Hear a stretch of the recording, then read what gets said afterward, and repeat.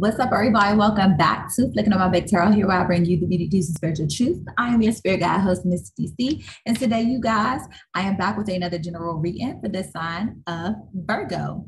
Please understand this will not apply to every single Virgo, as every single Virgo is not going through the same scenario. Cross watchers, anybody outside the Virgo energy, you're more than welcome to join in, tune in, but please utilize this information for the most positive purpose.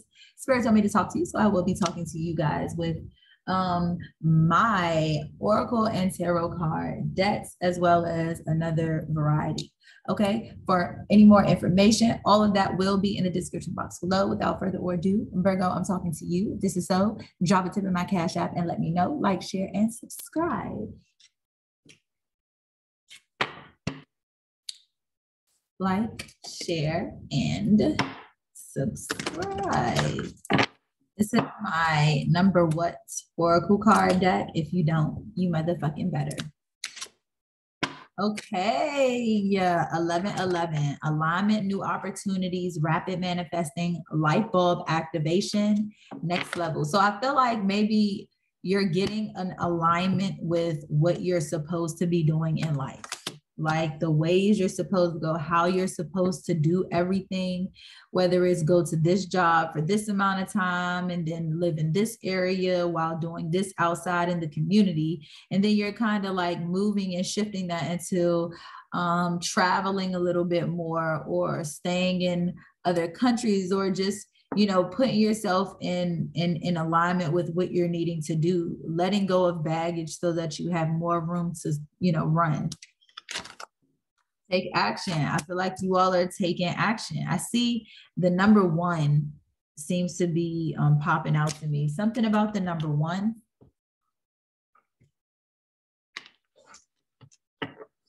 Something about the number one. But I feel like, yeah, there might be a new opportunity that's going to present itself, and you you might need to just go ahead and take action on it, whether it be um, you know, just answering or responding to whatever this may be, there's some form of action that needs to be taken or um, will need to be taken. Okay. Press pause, reflect on what you've learned. Yeah, so I feel like you're getting into alignment and you have to, you know, slow your mind down to really understand what it is that you're doing, the moves that you're making you know, is what I'm doing suitable for my life? Is what I'm doing, you know, benefiting me in any way, form, or fashion? Does this help my life in any way? Or does this put me into alignment with what I feel I should be doing? Virgos be thinking. I'm a Virgo moon. So that emotional um, roller coaster that we go through with ourselves, that little depression, that, you know, hermit kind of thinking all the time. This is how Aquarius and Virgos kind of um, favor each other. It's that that that thinking situation. It's that CPU, you know, in our heads that just always asking questions, always seeking knowledge or wanting to know and understand something. You know, instead of trying harder, try differently. What did I say? Take an action, take a new course, try something different. Try something different. Nothing wrong with it. You know, but you all are earth sign, very, very much practical, very much hands on. So it's like, like I said, just try something different. There are multiple ways of doing almost everything. Hold on a second. All right, Virgo, I'm back. Okay, so yeah, um, I don't really remember where I left off at, but yeah, I just see the number one is significant. I feel like you are coming into alignment with yourself. Like you just, you might need a little extra push or whatever the case is. I feel like travel. Maybe you're about to travel somewhere. Maybe you're about to take like a little vacation or a shortcation. You know, um, Don't be petty. Take action, but don't be petty about it. I feel like whatever it is that you need to take action on, Spirit is saying don't be petty about it. Take action, but don't be petty. Like, hmm, Let's see.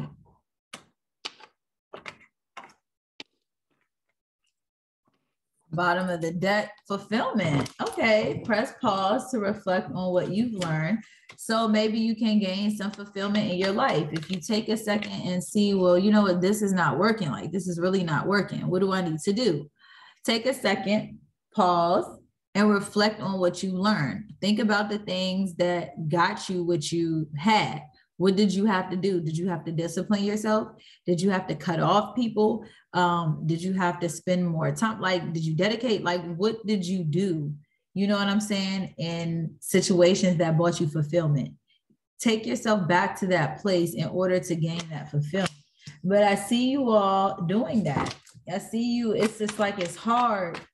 It's change is very change is very difficult, but change is good, change is necessary, change will happen. It's like maybe you're upset about the good things that you have. Maybe you are sitting and reflecting, like, it's like, damn, I have all of this. How did I get all of this? And how do I get more of it? You know. Yeah, so there's a wife. There's a feminine energy here that I feel like it's like you're fine, but I feel like you're upset that they're not doing what you want them to. This person, they don't really have a foundation. Um, this is someone who is kind of unbalanced. Maybe they don't give the best nurturing advice. You know, this is somebody who's sharp with their words, maybe. I feel like, but this person is pro- possibly financially unstable. I feel like this person is financially unstable. And I feel like you're mad. You're mad that they don't have no money. you're mad that this person don't have no money, but you got the money. It's like I got money and I'm trying to give you money but without me having to give you money.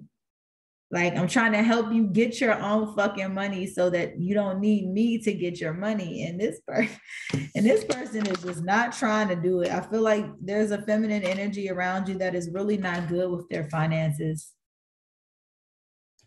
Like this person is really not good with their finances. But you're negatively attached to them and you're about to travel to go see them or maybe they want to travel to come see you. But this is very, very toxic. I feel like you both are going to be traveling somewhere.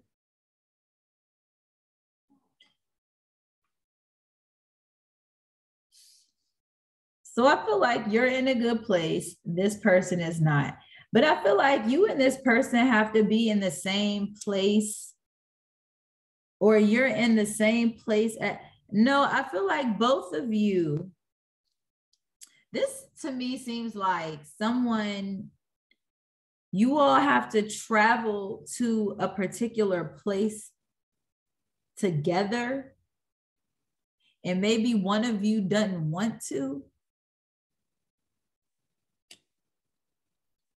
I feel like I feel like both of you have to travel somewhere out of state.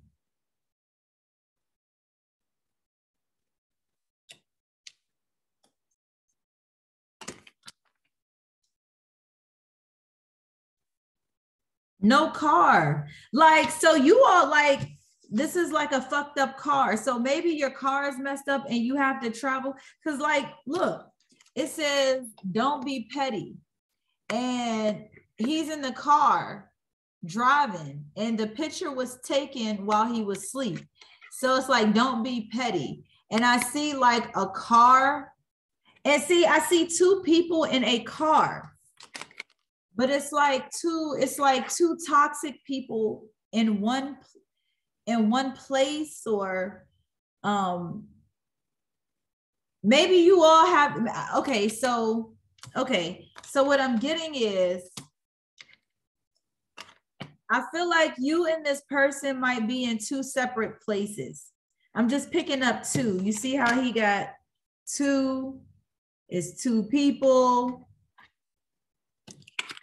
It's two um two pairs. You see that? Two pairs.